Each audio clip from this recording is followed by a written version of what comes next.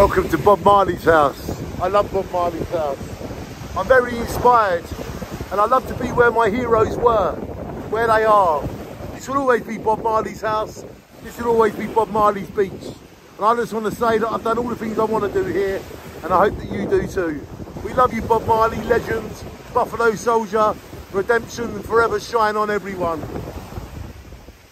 Welcome to Bob Marley's beautiful beach everybody.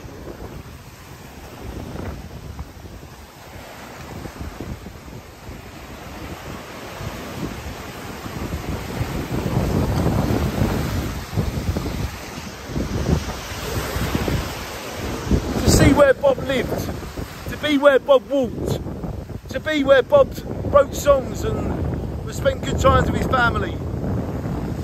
This is what life's all about. Shine on to Bob Marley. I bet he drove a Harley. We love you, Bob Marley. And I've done all the things that I wanted to do at your house. But I will come back again and do many more things. And I hope everybody that visits Bob Marley House, I hope every person that visits Bob Marley's homes, houses Jamaica, here in Bahamas, even in London where he lived. I hope everybody that goes to where they where their heroes lived, I hope you do what you want to do when you get there as well. And just keep it in mind that we can be close to our heroes, even if they tragically passed away, because we keep them alive in our hearts.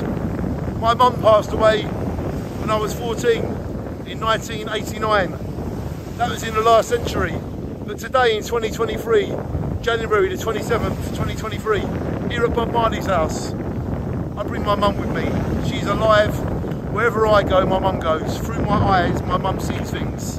And my mum is forever with me. As Bob Marley is forever with me. And as anybody that ever passed away in your life, they are always with you. It's up to us to keep them alive, like they kept us alive.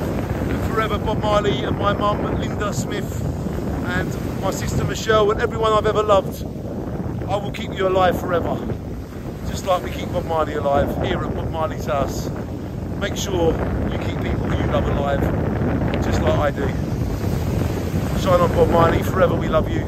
Shine on Bob Marley's house, Bahamas, Danny's Sloggett Vision, content creator. I will forever keep people alive.